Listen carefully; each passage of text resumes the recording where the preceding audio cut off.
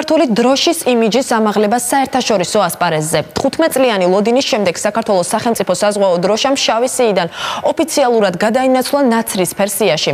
რაც იმას ნიშნავს, რომ პარიზის ურთიერთ გაგების მემორანდუმი, რომელშიც შედის ევროკავშირის წევრი ყველა საზღვაო ქვეყანა, უფრო მეტ ნდობას უცხადებს ქართულ მხარეს.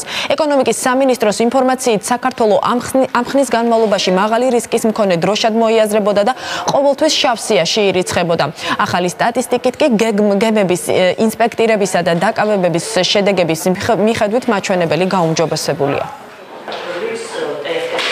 გამკაცრდა ტექნიკური ზედამხედველობა საქართველოს დროშის ქვეშ რეგისტრირებულ გემებზე. საქართველოს კანონმდებლობა შესაბამისობაში მოვიდა ევროპულ სტანდარტებთან. გაუმჯობესდა საქართველოს გემების სახელმწიფო რეესტრის მომსახურების პირობები შემცირდა ტარიფები და ასე შემდეგ. ეს ფაქტი მნიშვნელოვნად აამაღლებს საქართველოს სახელმწიფო საზღვაო დროშის რეპუტაციას მთელს მსოფლიოში, ასევე აამაღლებს ჩვენი ქვეყნის ცნობადობას, სანდოობას და მიმზიდველობას პირველ რიგში გემთფლობელების თვალში.